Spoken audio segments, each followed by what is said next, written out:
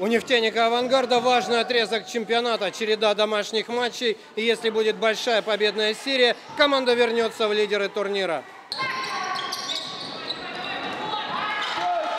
Амички начали вдохновенно, повели 14-2. Стоило нашим тренерам дать передохнуть ведущим игрокам, а баскетболисткам немного ослабить хватку в защите, как опытные соперницы трехочковыми бросками сократили разрыв до минимума. Главный тренер нефтяника Елена Лазуткина вовремя возвратила на площадку Марину Пасечник.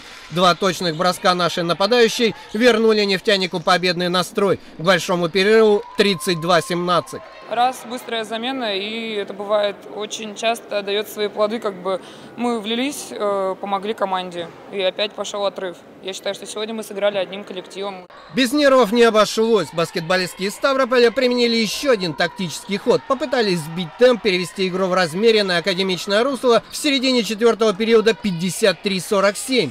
В решающие минуты здорово сыграли наши центровые Ирина Остапова и Яна Матвеева. Два результативных броска с разворота 57-47, следом еще несколько точных попаданий. 64-49 победа нефтяника «Авангарда». Позиция восьмого места не устраивает совсем после второго с того сезона. Поэтому это тоже подначивает домашние игры, приходят зрители болеть, тоже как-то особо расстраивать не хочется своей игрой, поэтому надо брать все игры.